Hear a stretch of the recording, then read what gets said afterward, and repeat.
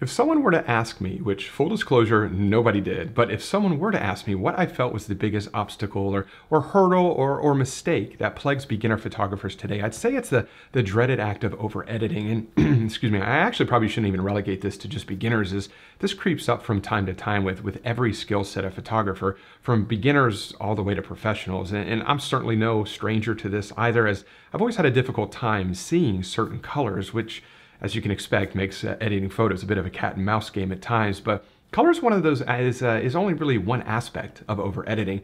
You also have things like too bright or too dark an exposure, too much or too little contrast, uh, too much shadow recovery, too much sharpening or clarity, too strong a vignette, and of course, overly saturated colors. And the list goes on and on from there. But in this video, I want to share with you something that has greatly helped me out when determining if I've gone too far or maybe I haven't gone far enough with an edit in hopes that this is something that can help you out moving forward as well as this little tool, it already resides within Lightroom for all of us to use. So this is an image from a, couple fall seasons ago, one of my favorite uh, waterfalls in the Blue Ridge Mountains of North Carolina. I won't run through the entire edit, but um, you can see what I did in the calibration section here. I am going to add a little bit of a tint to the shadow area here, maybe a little bit of magenta tint, nothing too crazy, but maybe just something to about, maybe right there looks good. And then I'll come up here to the basic section just so you can see what I did right through there. Now, something kind of a, a, an easy way to add depth to a photograph um, through, through post-processing is if, if you think about it, if you're looking at a scene, anything that's in the foreground has got two qualities that really separates it from the area in the background. So Things that are closer to your eye naturally have uh, more vibrance. They're, they're, the colors are naturally more saturated. And areas that are closer to your eye also appear to have more contrast than areas that are farther away from your eye. So if you edit your photo with that in mind, that's a great way to create additional depth in your photograph. And I'll show you what I mean real quick. So what I wanna do is, I like how this area right through here is very contrasty. There's a lot of, of uh, very punchy oranges and reds all through here. So these colors are definitely very vibrant. And I want to kind of just reduce some of the contrast back through here and reduce a little bit of this, uh, the saturation, maybe even add a little bit of negative dehaze, just to kind of make that background not quite as punchy, if you will, as the foreground. And that's naturally gonna create this illusion of depth. So a great way to do that is I'm gonna come up here to the filters section. You can already see I put a, a, a filter over the, uh, the actual water flow. If I toggle that on and off, you can just see what that has done, just real subtle. But I'm gonna come up here to create new mask, linear gradient. Let's just drag this across this area right through here. I think that looks good. And let's reduce the contrast a fair amount. Nothing crazy, not like that. But if I rock this back and forth, you can see what it's doing. So maybe something about there. Maybe we'll even reduce the saturation just a little bit. We can uh, reduce the clarity a little bit as well because that's something else. If you think about it, things that are closer to your eye naturally appear sharper. That they, you naturally have a little bit more detail than something that is, say, 20 or 30 or 50 yards farther from your eyes. So when you're editing photos, if you kind of keep that in mind, that areas that are in your foreground, more saturated colors, it's going to appear sharper, it's going to appear more contrasty, and areas that are farther from your eye are going to have the exact opposite of those qualities. So if I reduce the clarity back there, reduce the contrast, reduce the saturation just a touch, maybe we could even add a little bit of de negative dehaze. You can see what that's doing. Let's just, uh, just a touch. And maybe we could even reduce the shadows a little bit because if you think about that as well, things that are farther from your eye, the shadows might appear a little bit darker. So doing that, and let's toggle this on and off. So this is before and after, before and after, and it's a very, very subtle difference. I'm just gonna bring this contrast down just a little bit more, maybe a little bit more negative dehaze and just a little bit more negative saturation. And once again, this is before and after, before and after. A very subtle difference, but now you can clearly see that the area in the foreground has those more punchy colors. It's more contrasty versus the area in the background. And that just creates just a very subtle illusion that the image has, uh, has depth to it. So I think that that looks pretty good. Let's double click this and let's just name this background. And now I'm gonna add one more mask. I'm gonna kind of do some, uh, I just really wanna open up these shadows down here a little bit. So I'm just gonna drag this up through here to about like that. Maybe not quite that far. Let's do this. I don't want that transition zone to be too, too soft. And let's just open up these shadows just a little bit to about right there maybe increase the exposure a little bit. I don't really want to affect those leaves as much, so I'm just going to apply a luminance mask to this. So let's come up here and let's intersect this mask with a luminance range. and I want to target the shadows. So I'm just going to hold down my option key and drag from the right over to the left until everything that I want to target is in red. And let's create a little bit of a fall off just so it's not so harsh.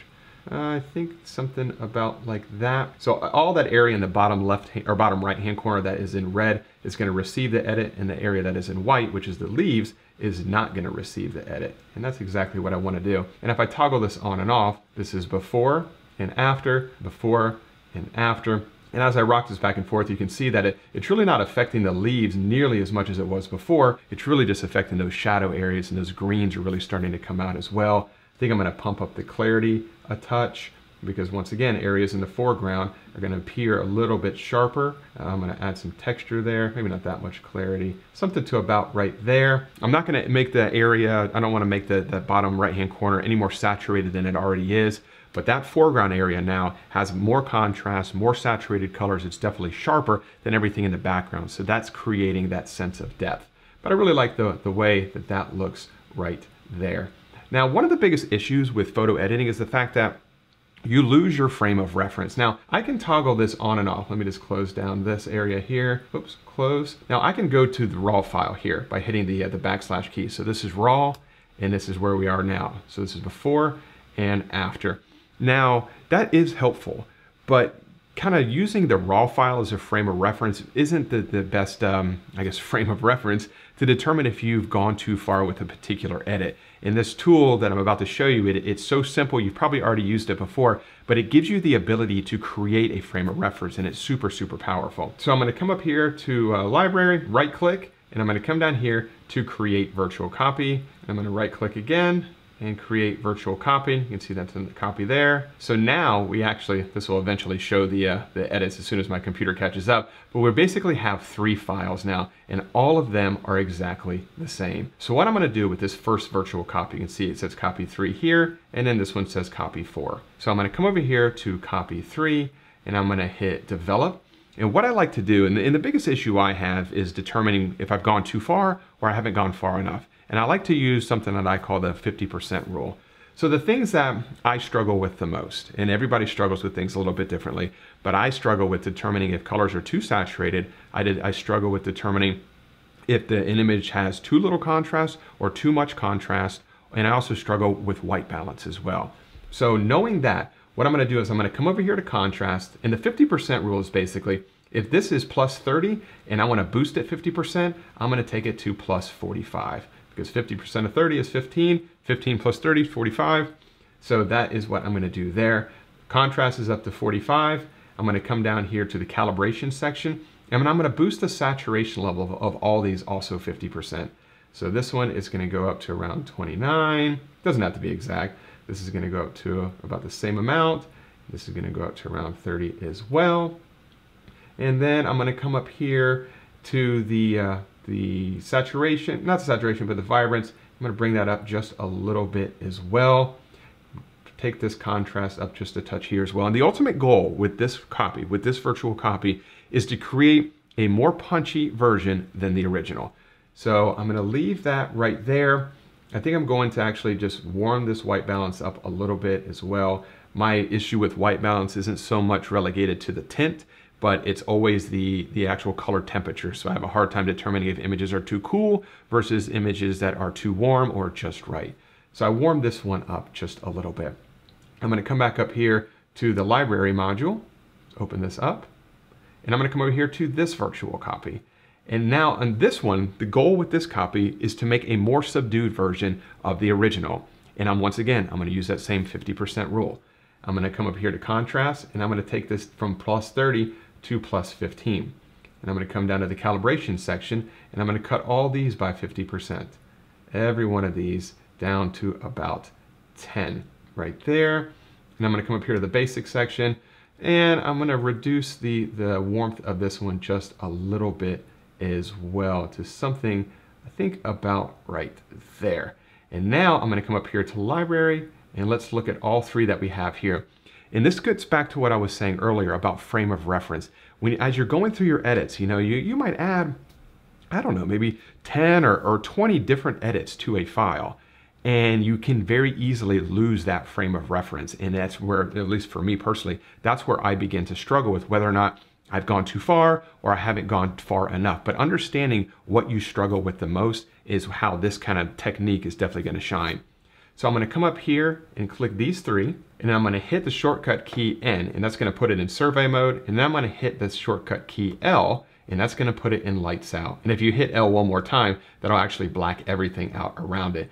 And now that you can see all three of these, now you have the ultimate frame of reference. You have one version, that's the original edit. You have another version, which is a more kind of souped up version, more punchy, more contrasty, more overly saturated.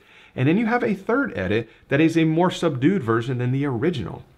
And now you can go back and you can look and see is there one of these images that looks better than the other? Is there an area that looks better than the other? I know that we did a local adjustment in the upper left-hand corner. We did a local adjustment in the bottom right-hand corner. And how do those look now? Looking at this version, I know clearly that this is the, the less subdued version. And it definitely looks like it's lacking a little bit of contrast to me. I think that this area back here is really starting to look washed out now. And this is the more souped up version as well. I kind of like the the way that the trees look in this one, which kind of tells me that this is definitely the original version that we edited. But this is gonna enable me to go back to my original edit and maybe boost up the colors just a little bit more, or maybe not have as much negative dehaze, or maybe bring that contrast back just a little bit. The, the bottom right hand corner through here, these oranges and these reds are starting to look a little bit too, too saturated to me and maybe even a little bit in the original edit. I kind of like the way that they look right here in this uh, more subdued version, but you can kind of see how you can take certain pieces of each of these edits. And you don't have to do three. I've done as many as five. You can just do, I mean, actually, I don't even know if there's a cap in Lightroom with how many virtual copies you can see at one time. But you can make as many virtual copies as Lightroom will allow you to, which should definitely be enough but it gives you the ability to see what's working, what's not working, and most importantly, it gives you that frame of reference.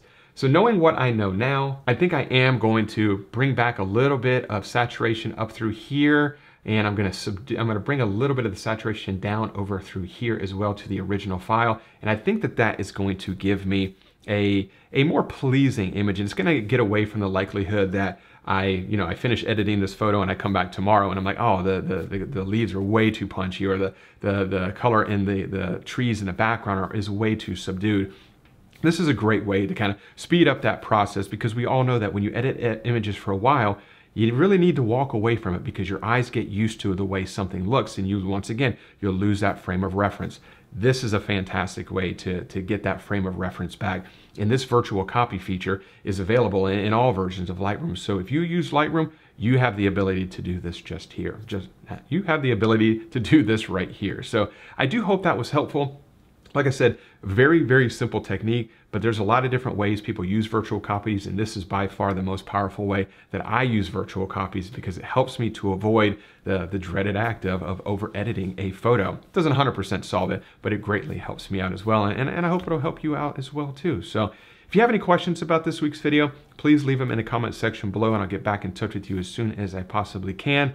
And if you enjoyed the video, if you could, give it a thumbs up, subscribe to the channel if you're not subscribed already. Share the video with uh, your photo club, your, maybe your family, or your, your friends if you enjoyed it that much. And as always, I really do appreciate you checking out this week's episode, and I will see you all next Wednesday. Bye.